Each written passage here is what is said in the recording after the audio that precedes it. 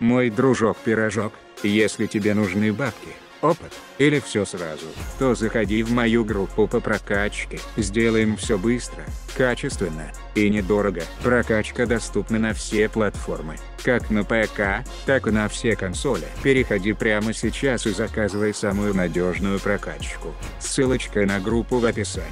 Переходи и заказывай. Дружочки-пирожочки, всем привет! В этом видосе поговорим о новеньком автомобиле, Bravado Gauntlet Interceptor. По сути своей это тот же самый Gauntlet Hellfire, только в полицейской модификации. И у этого автомобиля есть одна большая странность. Это цена. 5,5 лямов. Если вы прошли первую подготовительную миссию в налете на куриного папу, и 4 ляма с небольшим, если же прошли весь налет, просто так купить автомобиль не получится. И отсюда возникает резонный вопрос, а собственно какого хуя эта бричка не то что с конским ценником, с буйволовским, когда обычный Hellfire, то есть та же самая гражданская машина стоит всего лишь 745 тысяч долларов GTA.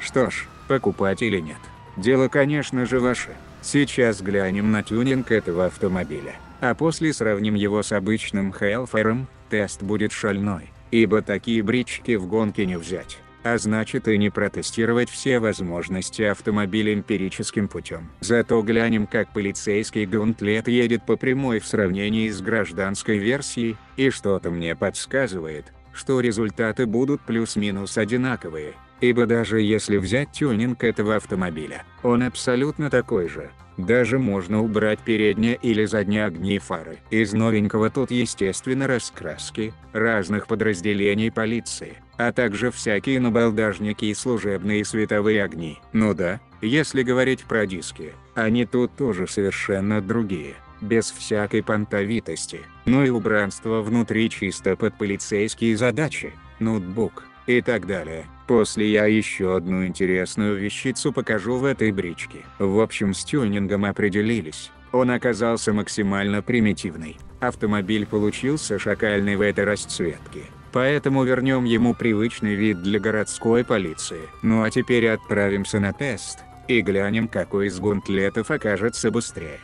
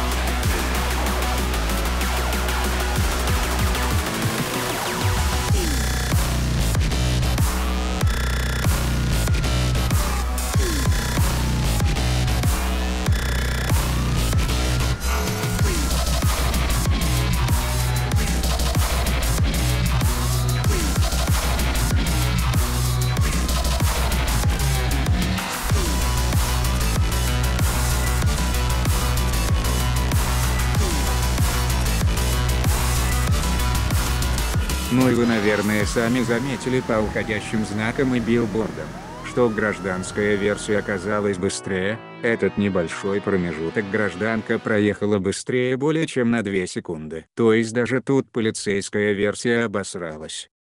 Сразу скажу, что автомобиль мне не понравился. Нет, не внешне, тут он выглядит заебись, да такие даже были в трейлере GTA шерсть. Нет, не понравился из-за того как он едет. Автомобиль ощущается очень капризным, с нулевым зацепом, при этом тяжелый, но эта тяжесть неприятная, а какая-то игрушечная. За рулем ты не ощущаешь себя как за рулем настоящего мощного маслкара, и да, еще один минус этого автомобиля, то что он уже не в классе маслкаров а значит вилли на нем сделать не получится. В общем это просто кусок металла, который мчится вперед, не хочет поворачивать, тормозить. Да и ускоряться тоже. Весь его крутящий момент уходит на старте в никуда, то есть стартуя, зацеп нулевой. Машина просто рвет из-под себя, а толку никакого. Как только зацеп появляется, автомобиль превращается в овощи. Есть еще и плюс. Это сирена. Но плюс сомнительный. Ибо когда ты наваливаешь в потоке, ты примерно знаешь, что будут делать боты. Тут же кто-то может уйти в сторону как надо, а кто-то просто затормозить. Некоторым вообще похуям на сирену.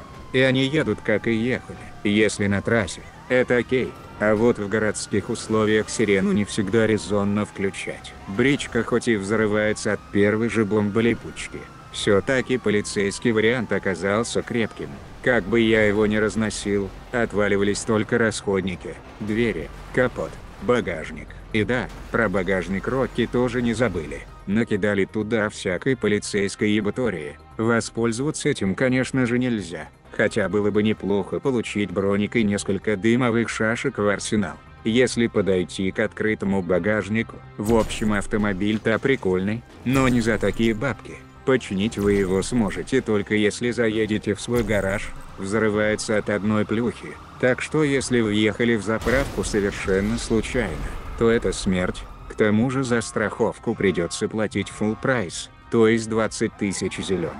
Но если купить скидку в утильцику, то стоимость страховки будет в два раза ниже. По сути своей, этот автомобиль подойдет для ванильных РП-проектов, где нету модов на машины, и там можно продавать такую бричку за любой прайс. А тут что, даже работы полиции нет. Хотя можно было бы взять наработки с GTA San Andreas и выбрать тут такие же мини-миссии. Роки же додумались перенести только такси в онлайн тому же работа эта получилась максимально унылой и однотипной. Что ж, может быть когда-нибудь на закате своей популярности в GTA Online добавят всякую ебаторию с мини-миссиями, а пока что вот так. К тому же эту бричку нельзя брать в миссии, где например нужно добраться куда-то на полицейском автомобиле. То есть в таком случае все равно придется воровать патрульку с улицы. Справедливая цена для этого автомобиля. Лям 200. Это прям потолок учитывая что это просто моделька, на которой нельзя делать какую-то дополнительную активность. А на этом у меня все мои дружочки-пирожочки. Надеюсь кто купил, не сильно разочаровался в автомобиле, ибо это тот же Gauntlet Hellfire, только чутка порезанный, а та бричка хоть и быстрая, та еще корова на льду. И все недочеты и своеобразие полицейская машина получила в наследство. В общем приятных вам выходных. Всем ББ. Всем ГГ.